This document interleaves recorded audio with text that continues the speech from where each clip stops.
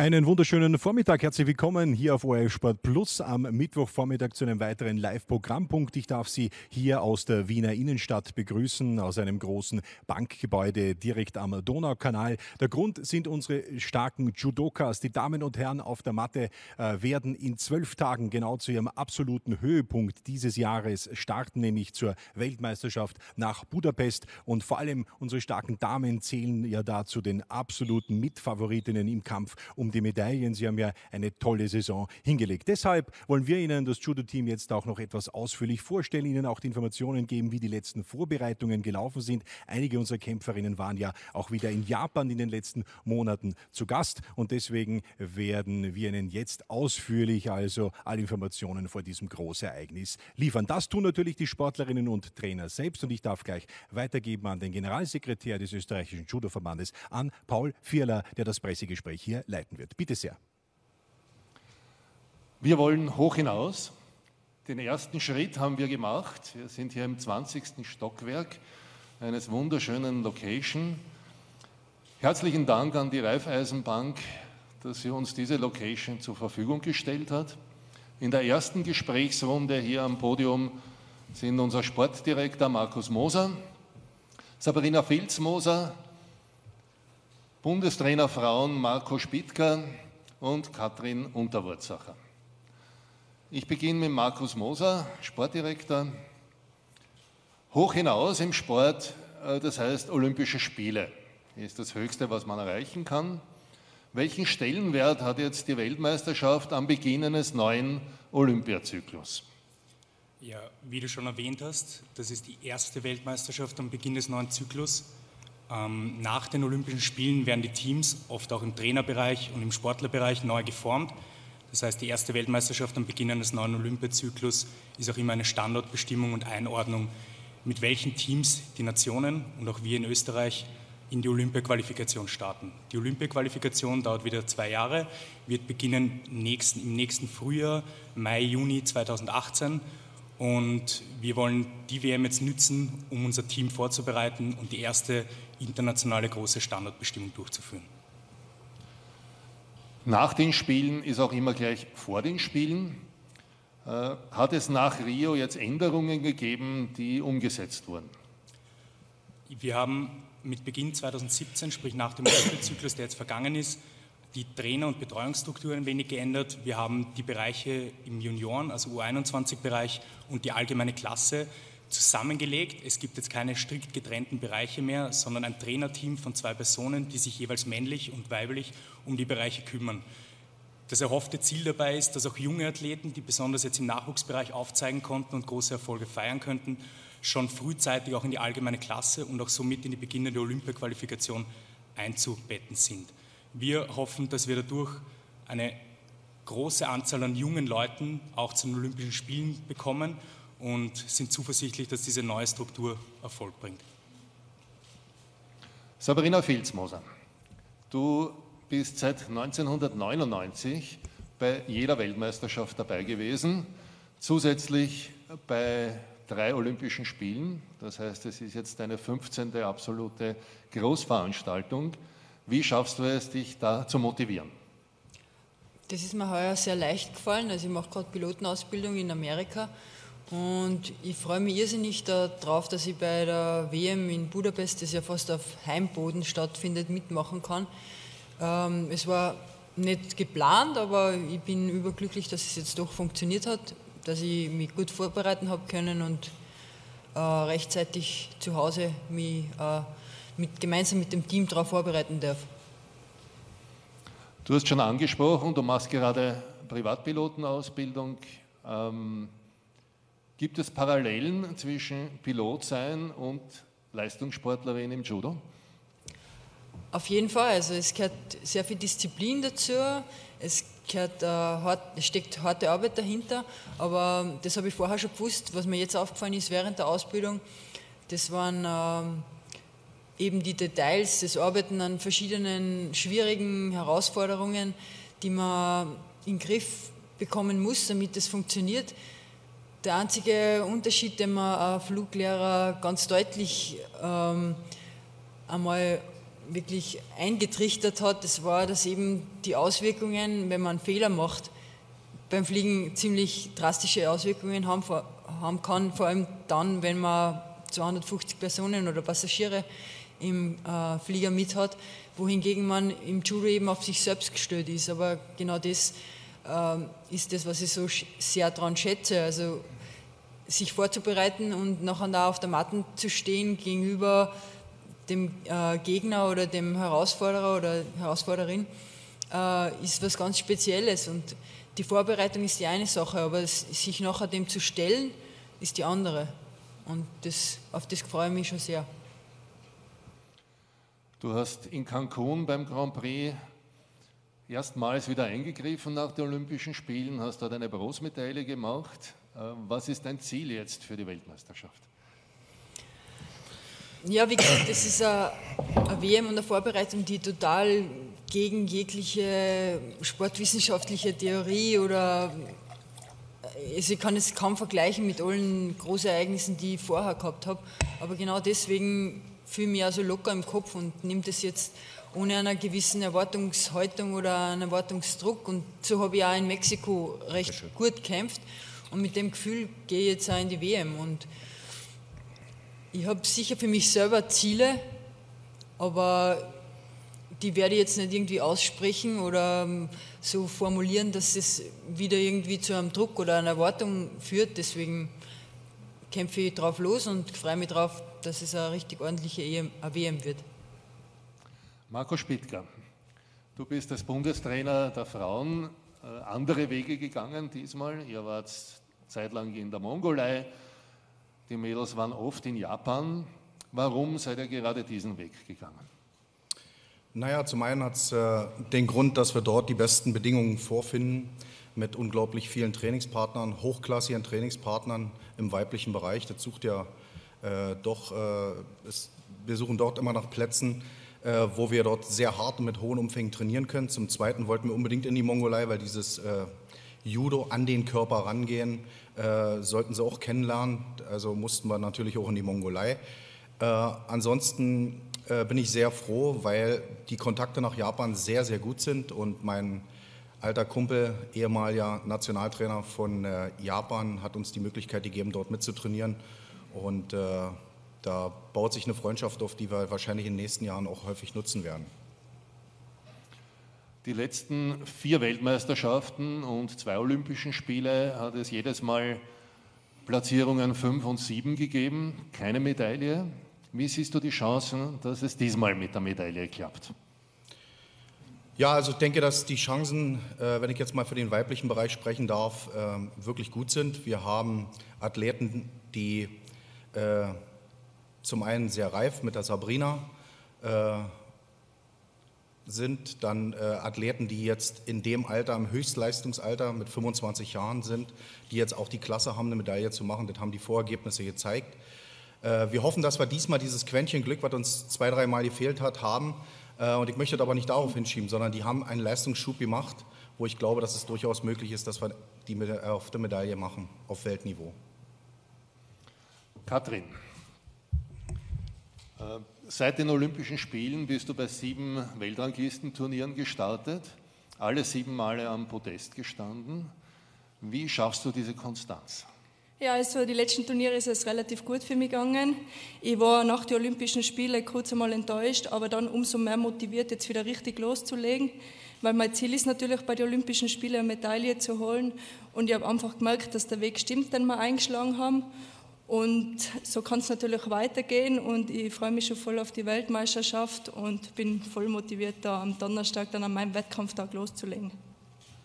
Du bist hinter Tina Tröstenjak, Zweite in der Weltrangliste. Bedeutet das, dass du eine Medaillenbank bist? Das bedeutet gar nichts. Das bedeutet nur, dass es mir bei den letzten Turnieren sehr gut gegangen ist. Aber als Ausgangsposition für die Turniersetzung ist es natürlich von großem Vorteil, wenn man unter die Top 8 ist. An dem Tag kann natürlich alles passieren, deswegen heißt es nichts, aber ich bin voll motiviert und weiß, dass ich an einem guten Tag jeder schlagen kann und deswegen freue ich mich schon richtig drauf. Die 63 Kilogramm Klasse scheint ja eine sehr gute Klasse für Österreich zu sein.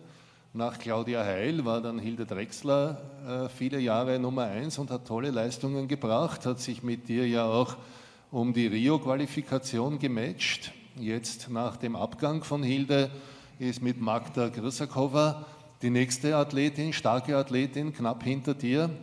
Wie siehst du diesen, die Konkurrenz? Ist das für die Leistung positiv? Also ich würde es nicht als Konkurrenz bezeichnen, weil wir kämpfen alle hart dafür, um vorne dabei zu sein.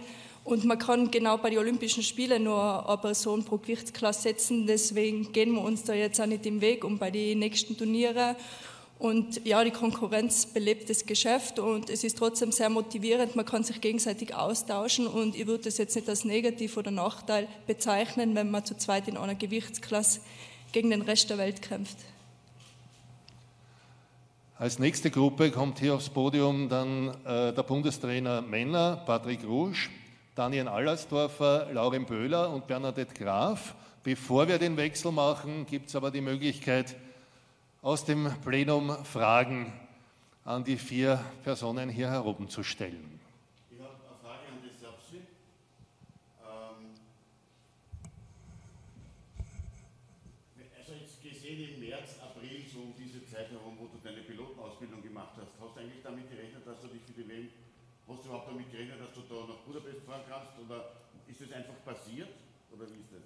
nicht damit gerechnet, nein, muss ich ganz ehrlich zugeben, weil ich ja nicht die Trainingsbedingungen gekannt habe, wie, wie ich sie dort vorfinde.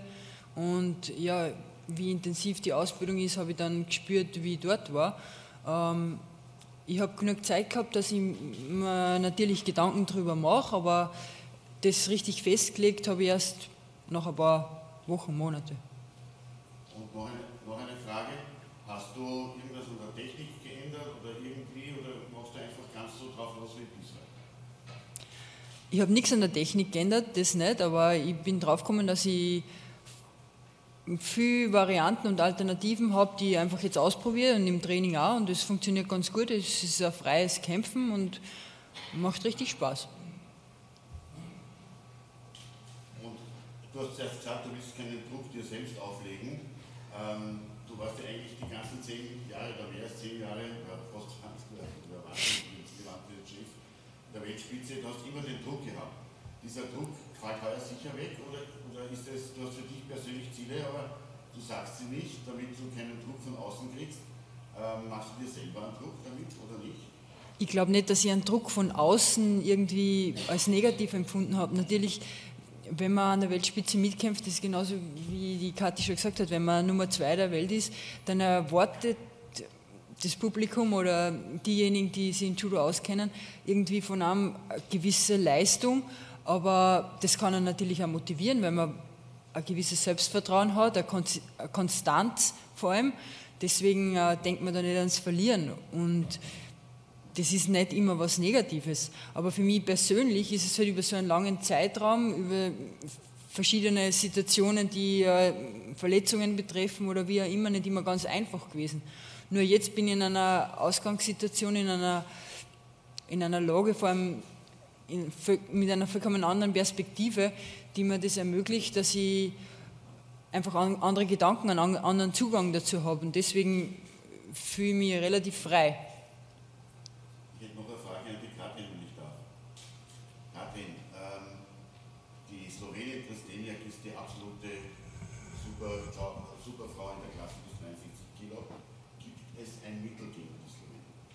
Es gibt gegen jeden Sportler ein Mittel. Wir halten Arbeit daran, machen Videoanalysen und alles.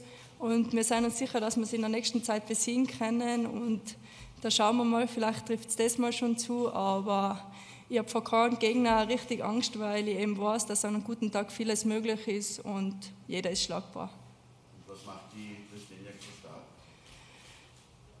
Der Ehrgeiz, der Wille und sie ist eine relativ schnelle Kämpferin. Also es sind viele Eigenschaften, die jeder Sportler hat, aber bei ihr hat es halt bei den letzten Turnieren sehr gut hingehaut und da schauen wir jetzt mal. Austria Presseagentur, Austria Presseagentur Thomas Plaschke. Äh, ich habe eine Frage vielleicht an den Herrn Moser. Äh, es war von Olympia die Rede. Es ist der Mixed-Team-Bewerb olympisch für äh, Tokio 2020. Äh, Österreich äh, stellt hier kein Team, also hier in Budapest bei der WM. hängt wahrscheinlich auch ein bisschen mit den Gewichtsklassen zusammen. Äh, inwieweit laufen die Planungen jetzt punkto Mixteambewerb Richtung Tokio beim österreichischen Verband? Ist natürlich ein Fokus, der Mixteambewerb bei den zukünftigen Olympischen Spielen. Die Regelungen sind so, dass nur Sportlerinnen, die auch im Einzelbewerb qualifiziert sind für die Olympischen Spiele, auch beim Mixteambewerb starten dürfen. Dementsprechend sind wir jetzt auch aufgrund dieser Strukturänderung, Zusammenlegung Juniorenbereich und allgemeine Klasse, arbeiten wir sehr stark daran, junge Nachwuchssportler, die jetzt sehr viele Erfolge im Nachwuchsbereich feiern, schon frühzeitig nach oben heranzuziehen, um diese Sportler im Optimalfall schon für Tokio und für den ersten Mixteambewerb und natürlich für den Einzelbewerb äh, an den Start gehen lassen zu können.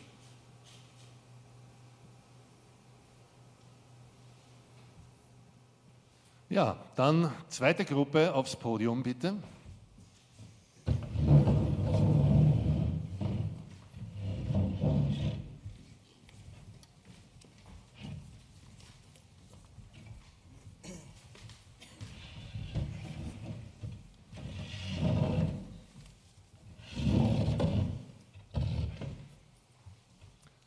Daniel Allersdorfer, du bist mit deinen 24 Jahren in der jungen Männertruppe der Senior. Äh, kann man von dir jetzt auch die beste Leistung in Budapest erwarten? Naja, erwarten. Stimmt, ich habe jetzt bei der jungen Männertruppe äh, die meiste Erfahrung. Äh, ich sage mal, ist sicher kein Nachteil. Und ich hoffe, dass ich die, die Erfahrung dann ähm, ausnutzen kann und dort ein, gute Ergebnis, äh, gutes Ergebnis machen kann. Im Vergleich zu manchen anderen in deiner Gewichtsklasse bist du ja eher klein und leicht. Äh, wie legst du Kämpfe gegen die wirklich schweren Bröckeln an? Na gut, dass ich der leichteste bin in der Gewichtsklasse, das stimmt immer. Also ich habe mir die letzten Jahre schon ein bisschen äh, entwickelt, wenn man es so sagen will. Und ja, ich lege meinen Kampf äh, immer den Gegner entsprechend an. Und ja, das ist immer unterschiedlich. Patrick Rusch. Du, deine Jungstruppe jetzt in Budapest hat gerade einen Altersschnitt von 21,5 Jahren, ist also sehr jung. Was kann man von dem Team erwarten? Die Erwartungshaltung für uns ist einfach, dass sie die Erfahrung sammeln. Äh, wir wissen, es ist sehr viel möglich. Sie haben die Qualität, auch die großen Leute zu schlagen. Und wie gesagt, im Judo ist alles möglich, da geht es sehr schnell. Und wenn wir ein bisschen Glück haben, wenn wir eine Platzierung machen, dann wäre ich sehr glücklich damit. Ein Teil der Mannschaft, äh, Lukas Reiter, äh, Daniel, äh, Lauren Böhler, waren lange Zeit jetzt in Japan, auch alleine in Japan, wo du nicht mit dabei warst. Äh, was ist am Training in Japan so Besonderes, dass wir das ausnützen?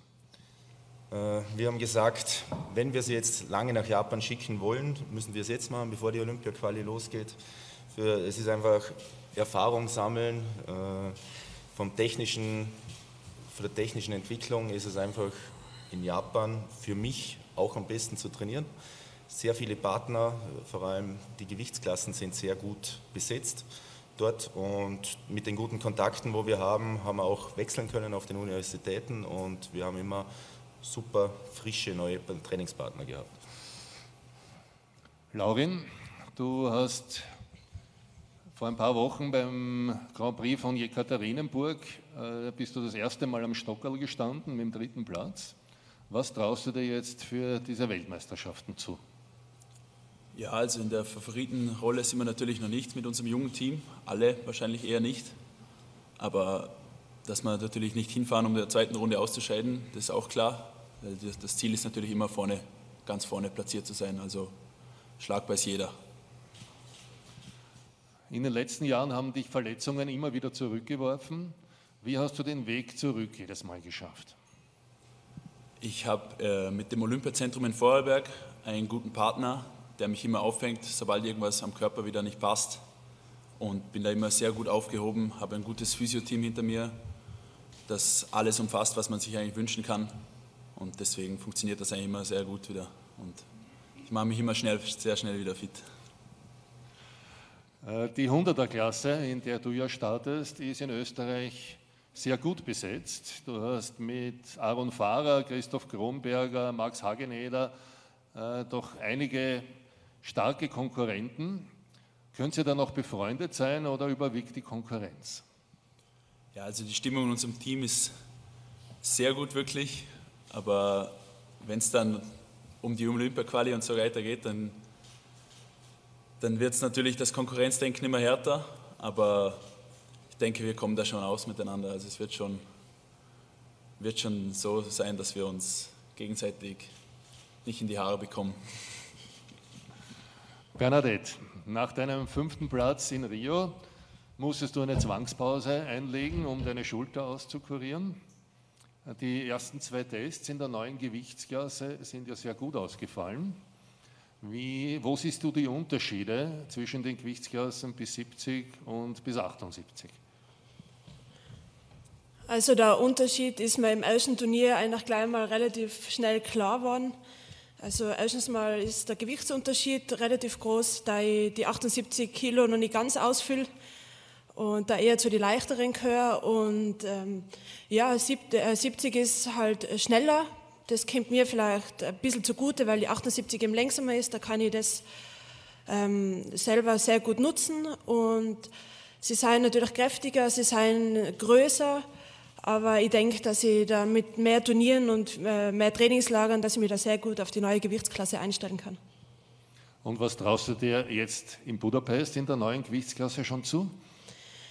Ja, das ist eine sehr gute Frage. Natürlich äh, fahre ich dorthin, um eine Medaille zu machen. Äh, ich, habe, also, ich bin jetzt noch nicht gesetzt, dadurch, dass ich erst zwei Turniere in der Gewichtsklasse starten habe können und dadurch kann ich zu jedem dazugelost werden. Also wenn ich Pech habe, kann ich auch die Weltranglisten erste kleine ersten Runde erwischen. Aber wie die Katrin zuerst schon gut erwähnt hat, es ist jeder schlagbar und es muss sowieso jeder geschlagen werden.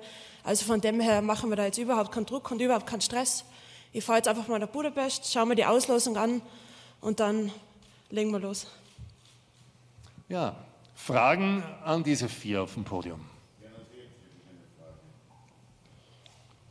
Liebe Bernadette, ist das eine Gewichtsklassenänderung auf Dauer oder ähm, ist das nur eine vorübergehende? Also, dass du wieder in die 70er-Klasse zurückkehren willst irgendwann?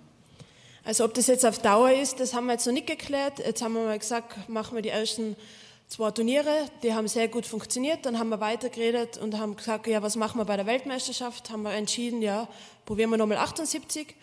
Und wenn das Ganze vorbei ist, dann werden wir weiter überlegen, wie das bis zum Ende des Jahres ausschauen soll und wie es dann langfristig für Olympia ist. Steht jetzt noch nicht fest, aber spätestens bis zum Ende vom Jahr möchte ich da genaues sagen können. Du bist, du bist, schwer, äh, du bist leichter als die anderen in deiner Gewichtsklasse, aber schneller. Was ist da der größere Vorteil bzw. Nachteil? Was, wie, wie schaut das aus? Ich glaube, dass beides seine Vorteile hat. Die anderen kann, kann halt mehr mit dem Gewicht spielen also dass sie mir da vielleicht mit mehr Kraft, äh, ähm, dass sie mir mit mehr Kraft entgegenkommen. Und ich kann es halt eher mit, mit Schnelligkeit probieren, sie auszutricksen. Also ich glaube, dass beides Vor- und Nachteile hat. Musst du da technisch was ändern in der höheren Gewichtsklasse? Ähm, technisch, also ich habe meine, meine Grundtechniken, die bleiben, egal ob 70 oder 78, bleibt beim gleichen. Aber ich muss mir eben auf ganz auf komplett neue Gegnerinnen einstellen. Bis 70, da habe ich gegen die meisten schon gekämpft, da sind mir die meisten bekannt. Und bis 78 ist es halt jetzt ein ganz neues äh, Terrain, auf das ich mich begib und wo ich mir aber schon freue drauf.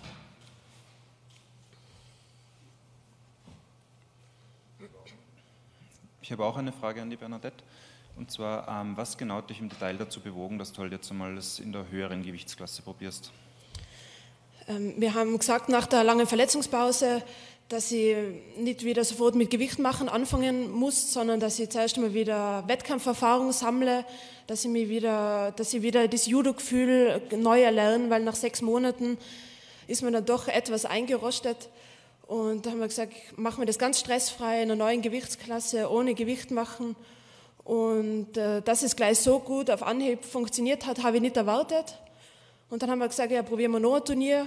Das hat dann auch sehr gut funktioniert.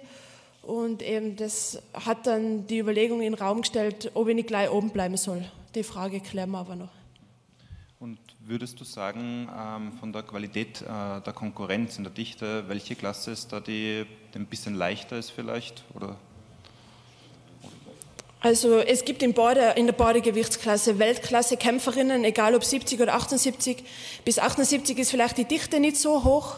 Das sind jetzt nicht äh, so viele Teilnehmerinnen wie jetzt bis 70. Aber es, das Niveau ist auf Badengewichtsklassen meiner Meinung nach genau gleich groß oder gleich hoch. Noch eine Zusatzfrage, Bernadette. Äh, du hast schon erwähnt, natürlich kennst du die 78er Gegnerinnen jetzt noch nicht so gut, äh, flächendeckend wie in der 70er. Äh, inwieweit hast du versucht, das Manko vielleicht von dir aus wettzumachen, mit zusätzlichen Analysen, Video etc.?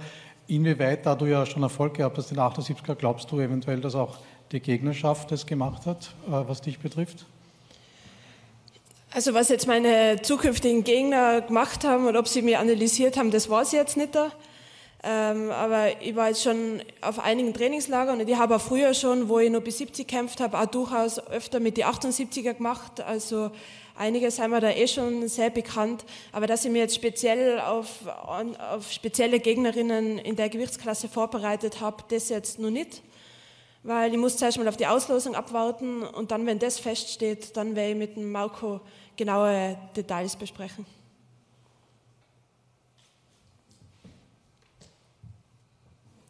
Damit beenden wir den moderierten Teil dieser Veranstaltung.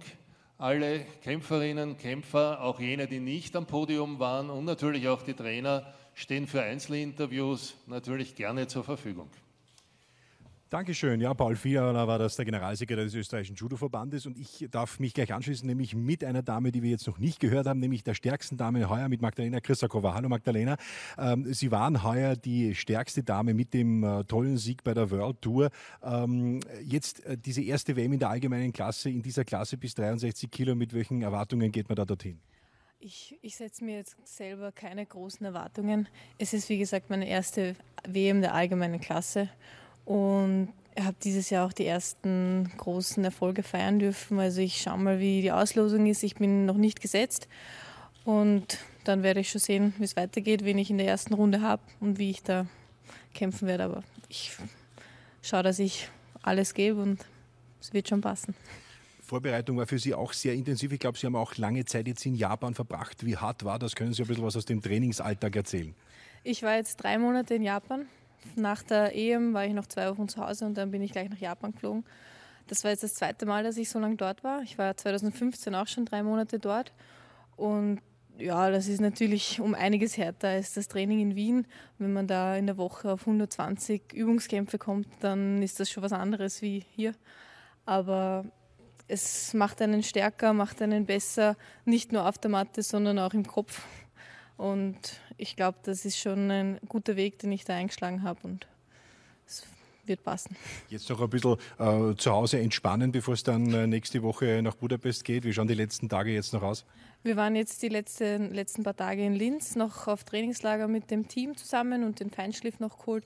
Und jetzt bleibe ich gleich in Wien und werde zu Hause noch ein bisschen wieder runterkommen, das Gewicht regulieren und dann geht es nach Budapest. Und ja, da wünschen wir alles Gute dafür. Dankeschön. Dankeschön. Danke, Magdalena. Und ich darf noch äh, Sabrina Filzmoser auch zu mir bitten, die ja, ja auf Heimaturlaub quasi ist, die ja mittlerweile in Florida lebt. Sie hat es ja schon kurz angesprochen, die Pilotenausbildung dort macht. Äh, jetzt haben wir auch schon ein bisschen gemutmaßt, das hat schon ein bisschen so nach Karriereende auch ausgesehen, Sabrina. Äh, ein bisschen noch kämpfen, aber die Berufsausbildung steht im Vordergrund. Jetzt sind Sie wieder da, eigentlich fast inmitten der Weltklasse mit dem tollen Erfolg in Cancun in Mexiko, wo es ja super gegangen ist beim einzigen, glaube ich, großen internationalen Turnier. Warum sind Sie jetzt wieder so voll dabei hier bei der WM?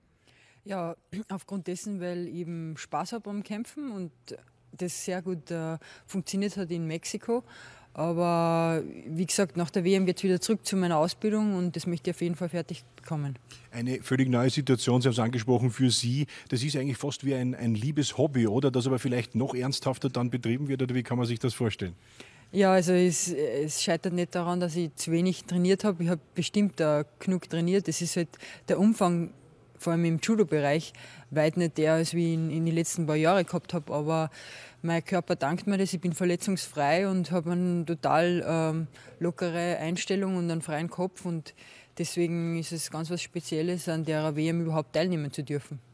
Wort noch zur Berufsausbildung. Sie haben es angesprochen. Was ist das Berufsziel, einmal große Linienpilotin zu werden oder worum geht es für Sie? Das ist noch nicht definitiv festgelegt. Also ich habe jetzt mein Instrument Rating in der Tasche. Das ist der schwierigste Teil der Pilotenausbildung, aber da bin ich recht froh, dass das eben vor der WM noch funktioniert hat. Was danach kommt, äh, mache ich eben Schritt für Schritt. Sie könnten aber die Kolleginnen vielleicht schon heimfliegen mit ein paar Goldenen von Budapest. Das geht schon, ne? Äh, dazu ist der Flieger dabei noch ein bisschen zu klein und ich müsste so oft danken. Das wird zu teuer. Wunderbar, dann wünschen wir auch Ihnen alles Gute. Dankeschön, Sabrina Filzmoser. Wir berichten natürlich täglich live in ORF Sport Plus, werden Ihnen übernächste Woche dann von Montag bis Samstag ab 16 Uhr alle Finalkämpfe, hoffentlich mit rot-weiß-roter Beteiligung, ins Haus liefern. Sie versäumen also nichts, wenn Sie bei uns mit dabei sind. Das war unser Pressegespräch hier mit unseren Damen und Herren aus dem Judo-Team. Ich habe noch die Programmhinweise für Sie heute wie immer um 19.55 Uhr in ORF 2 Sport aktuell und einen Live-Programmpunkt gibt es auch noch hier bei uns in ORF Sport Plus. Heute ab 20 Uhr sind wieder die Fans von Jakob Pöltl gefragt. Da gibt es das nächste Vorqualifikationsspiel unserer Basketball-Herren-Nationalmannschaft, nämlich Österreich gegen die Niederlande. Auch das live hier bei uns in ORF Sport Plus. Bis dahin wünsche ich Ihnen viel Spaß mit unserem weiteren Programm und darf mich hier aus Wien verabschieden. Bis zum nächsten Mal.